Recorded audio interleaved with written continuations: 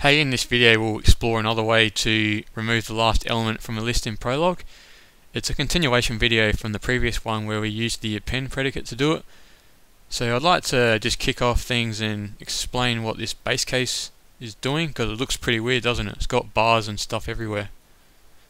So to try and demystify it a bit, I'll um, translate it to English. So the first thing here is that this is an, an anonymous variable which means the head can be anything because remember the bar here is like a list destruction mechanism. It isolates the head and tail into separate elements. And we're saying the head can be anything but we need the tail to be an empty list.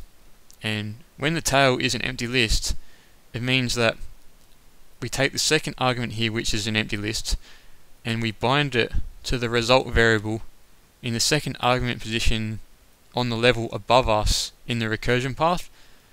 So this is a level above us, this is a stack frame above us, and we bind the empty list to result, and when this happens, this triggers Prolog to start rebuilding the uh, final result as recursion unwinds. But don't worry about this too much now. I'll explain it when we actually get to the base case. So as usual, the first thing Prolog does is it goes to the, looks at the query term and then it goes to the knowledge base. It starts at the very top of the knowledge base and scans line by line down until it matches a fact or a rule that unifies with this term. But what happens is is that this first argument gets shoved into the first argument here and it gets destructed because there's a, because there's a bar here. That means that the head turns out to be A and the tail is B and C, right? But we said that the tail has to be an empty list, and that's not true here. This is a list containing two elements, so these don't unify. So Prolog um, instead goes and executes the recursive case, and I'll uh, be as detailed as I can here because it gives you a good idea of how it works. So I'll again write the variable memory addresses that Prolog creates. So we've got a result variable here as a second argument and Prolog doesn't know what its value is yet. So it just gives it a memory address. Um, you can call it anything you want but Prolog normally uses underscores and capital letter G with some random number after it. And now what Prolog does is yeah it, it calls the next rule I just think of it as like it calls another, it calls itself recursively, which creates another stack frame. Um, so you can re relate it back to other programming languages that you might have done. And there's a special rule in Prolog that occurs during the unification process between two unbinded variables, which means two variables in Prolog which don't have values yet. And there's a relationship that is created between these two variables that extend between recursion levels. So this variable and this variable end up sharing memory addresses. And this is a way Prolog gets around the fact that it doesn't have return statements. And you'll see why these come into play when recursion unwinds. But just sort of keep in the back of your mind that this is sort of what is happening. So you can visualize it. And ABC 111 is just the memory address it can be anything, but we'll just give it that for argument's sake. So, the key thing here is that when we recurse down, we're not even touching this second argument, so don't even worry about it. Just focus on what we're doing here, because what we're trying to do is we want to reduce this list until it contains just one element. So this is why we use the list destruction mechanism in the first argument position. So we can start by filling in values here. So the first argument is list ABC. So we know what head is. Head will be um, A and tail will be B and C because B and C are the elements that follow A. Therefore we know what head is. The head is A here. Tail is B and C. Prolog doesn't know what result is yet, so if Prolog doesn't know something, initially it just gives it a memory address. So it can um, re refer back to it later when it gets a value binded to it. And for visualization purposes it's good to write down what actually the formula is that Prolog's searching for. So we've got result equals G1 up here right so what's G1 waiting for G1 is waiting for the result of the next level of recursion, um, the second argument, whatever that is. So I'll just write it down. So G1 will be equal to whatever the value is produced by this expression, but this expression is waiting on the value of G2, but we don't know that yet. So it's sort of, um, we'll find out that as we go deeper into recursion. And the way I got this is that result is um, the second argument, right, which is G1. Then this is the corresponding second argument, and therefore the level above is waiting for the result of the second argument expression, which is this. And um, yeah, just we'll follow this when we recurse back up, but um, this stack frame's all done, so the next step is Prolog recursively calls itself again. And it goes to the, the knowledge base, starts from the very top and scans down again. And it doesn't match with the base case because B and C will get shoved into here and destructed so the head will be B and the tail will be C because that's what's left after B. But again, we're searching for an empty list, but this is a list that contains one element as a tail, so um, the base case doesn't unify with the next term that's being called. So we go ahead and do another recursive case, and again, during the unification process between two unbinded variables, result and the second the corresponding second argument in the next call. A special relationship is created so they share memory addresses now. And Prolog does this to get around the fact that it doesn't use return statements like other programming languages. So just stick with me for the moment. I'll, it'll, it'll become crystal clear when we recurse back up as to how they're used.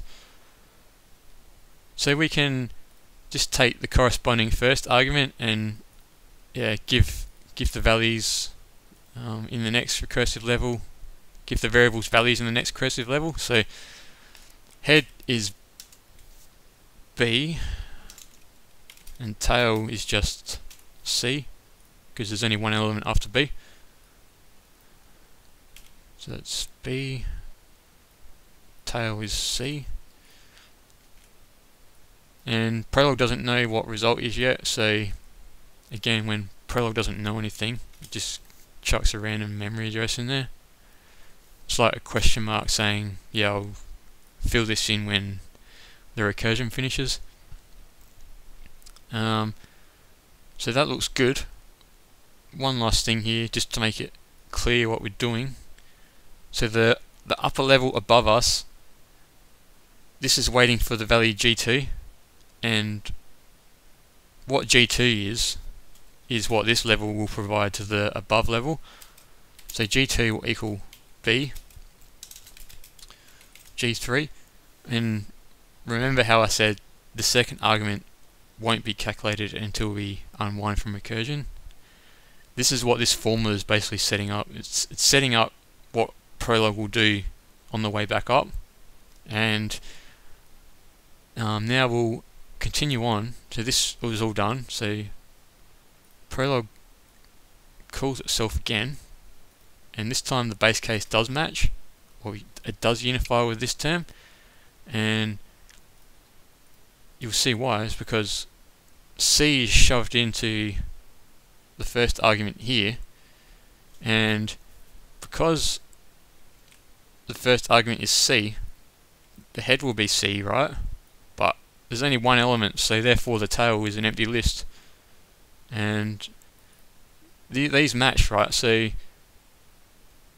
now this means that this empty list gets binded to the result variable in the level above because in Prolog variables can accept any value which means that Prolog's like can these two things match um, okay cool I've got one unbinded variable here and I've got a list here so this means that I can just shove an empty list into G3 and I'm all good I'm happy and both these things are equal now.